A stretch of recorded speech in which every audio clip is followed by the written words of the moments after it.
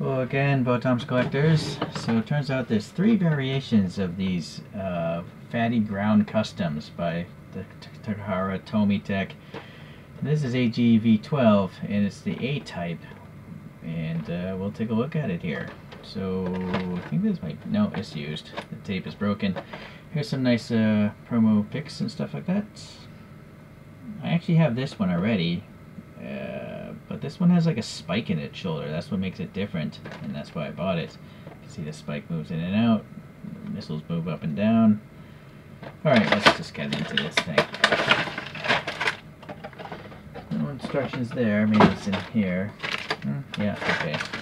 Before I go on, here's uh, MAHQ. Talks about the specs of this thing, and then it's basically a desert-oriented uh, fatty, whereas this blue one over here is like a space-oriented fatty, and I reviewed that one before.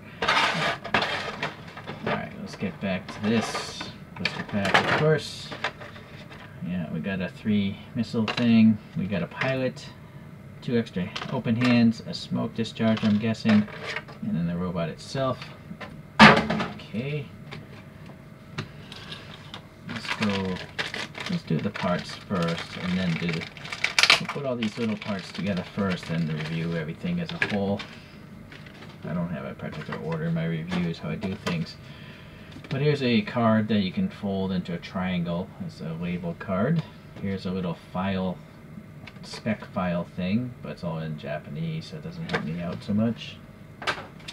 Fan club thing and then the good old instructions and here it says 2006 up in the corner September 2006 okay so uh, I've seen that gun before and I think I can figure out the rest. It's nothing on the back. What's nice is uh, this thing is painted already you know even though it's on a molding sprue Granted, this, once you clip these pieces off, like here, you know, you're clipping off the paint as well, so you'll have, I'm going to have dark blue plastic showing through this lighter uh, grayish blue. But uh, I think it's better than just all raw plastic, right? So it's nice that they do this sort of stuff. I'm, I'm too lazy to repaint it though. So these are ammo canisters. One goes on the weapon itself, and the other three are going, going to go into the backpack of the robot.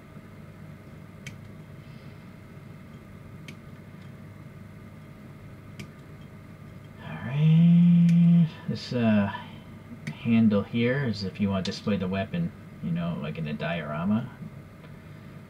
But uh, I usually just use the, the handle that has the hand already on it, because I display the weapon on the character itself. Or the, not really a character, it's a tank.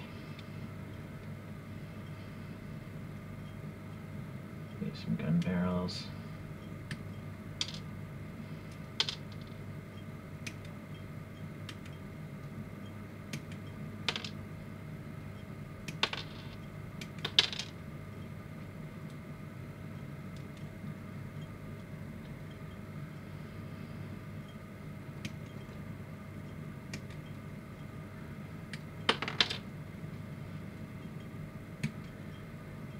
right.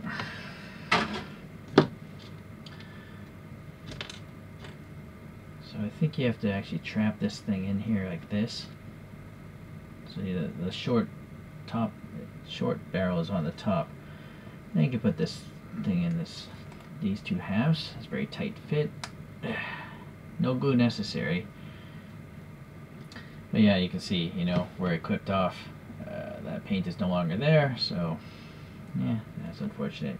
I can live with that. I can live with it though. Then this uh, arm stock or butt stock goes on the back. Then we'll pop in the handle with the hand on it. Down here, snaps in. And then there's a fold out handle here. I'll pop this in this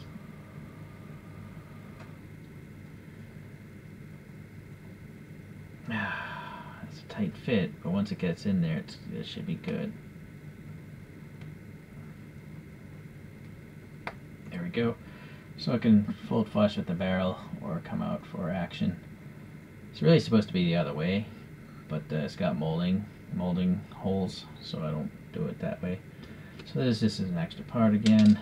Uh, the back of the hand here, that's just friction fits on, and there we go. And then the ammo can goes on this rectangle here. It's too bad that wasn't a different color.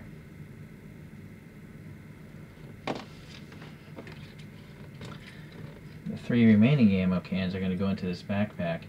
You can see there's these rectangles molded into the backpack and then the hole of the ammo can. So you want to align it when you slide this in.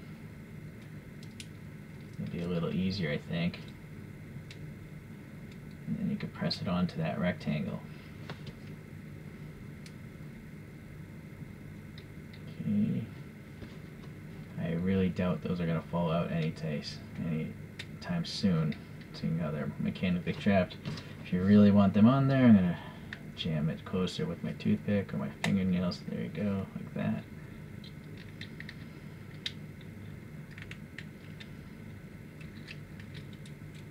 What's unfortunate is the uh, the molding cutoff wasn't placed down here. You know, they put him in a spot that's totally visible, so that's too bad. Oh well. All right. So, well, we'll do these outer pieces first. Let me show you the inside. First, the head will rotate, and then this optic here will swing left and right inside this groove. So that's nice.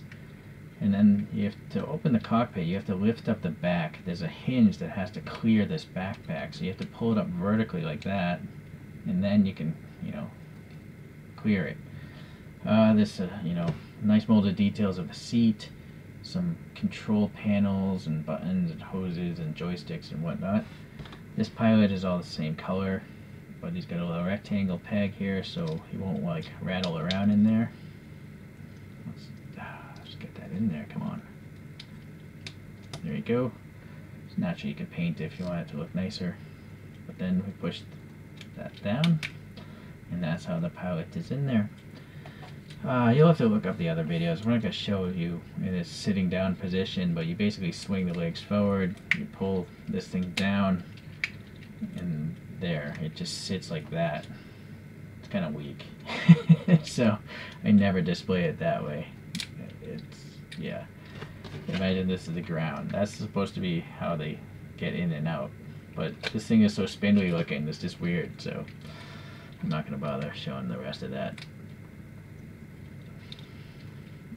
Okay. Alright, we went over the head of the cockpit. The backpack has these two fragile plastic antennae, so if this falls down, it's going to break. Keep that in mind. There's an open hole here. Unfortunately, I don't think anything goes there. It's, I'll show you in the other fatties. A different fatty uses that hole. But this hole here is this rubber flexible hose. Oh, you know what? Maybe, I wonder if you can go down in here. Maybe it is supposed to be down there. It's just, I don't know. Hard to say if it belongs up there or not. Let me check the good old instructions.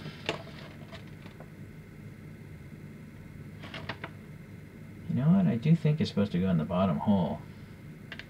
Just uh, looking at this image here. See how that's the bottom hole is clearly pretty long. Alright, so yeah, this is in the wrong place. I think the smoke discharger goes in the top hole. I think this arrow is supposed to actually get past something.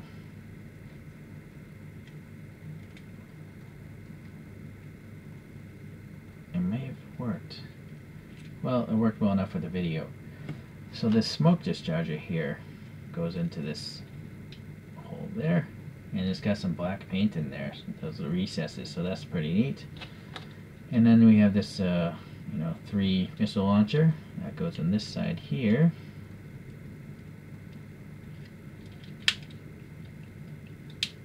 And actually both of those things can pivot up and down since they're on a round peg. Alright. So over here we have a nice engraved uh, painted black sci-fi letter of some sort. And then uh, the arm is on a peg with a ball in the end so you can get a little bit of butterfly up and down like that and then obviously you can rotate the whole thing around. This armor piece, no, it doesn't spin. Uh, let's show this. The forearm will spin. Interesting. This will not spin. Only the forearm spins. And then it's around a 90 degree bend for the forearm. And then you have a little cuff here to hide the joint of the hand. In fact, let's pop this off we're going to pop on the weapon. Oh. And from my experience, putting that, removing the cuff doesn't really affect the, there's almost no articulation uh, whatsoever. So the cuff, I don't think it really hinders articulation. It's really just there to mask off that gap.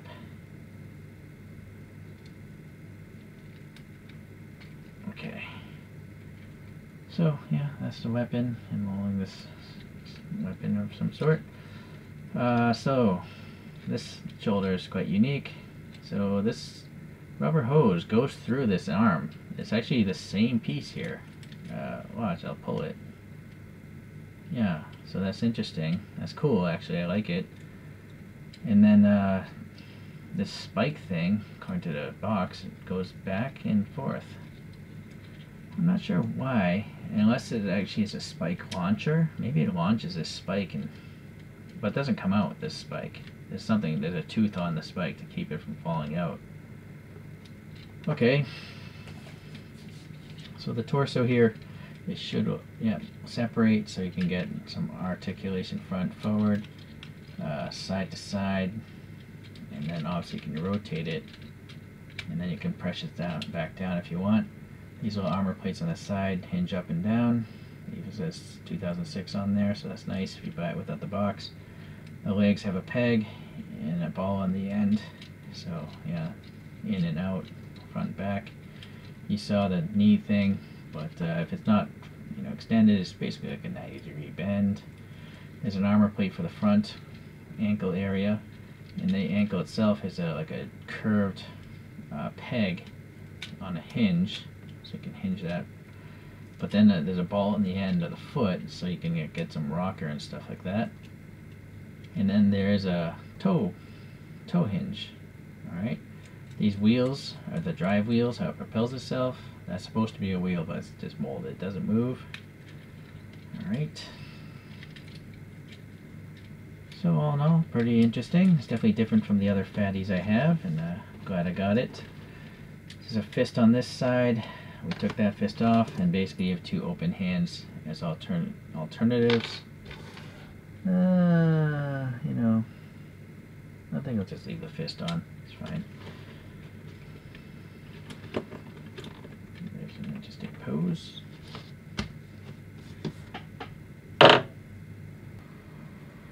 Alright, so there's three other fatties put out by the same company. This is the, the uh, most similar it's the same color, but you'll see the shield on this one is blank and it's big, and it's got this double stack missile launcher.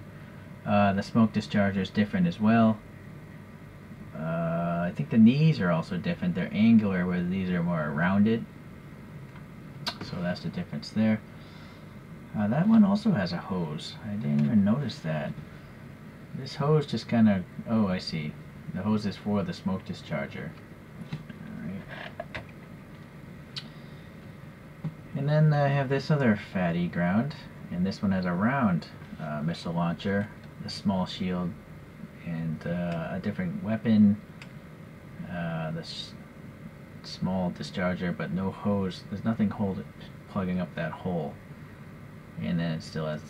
I think the rest of it's the same actually, mold-wise. Just colors different, really. And one that is totally different is the Space Fatty because it's meant to be in space. So it has this thruster pack. And it's really plain in its detailing, unfortunately. It's a very early uh, Actic gear, I think. Alright, so those are four Actic gear fatties for you. And I'm pretty sure that's it for the variations. If there is another one, please let me know. Um, yeah, that's it. Let's uh, get these other ones out of here.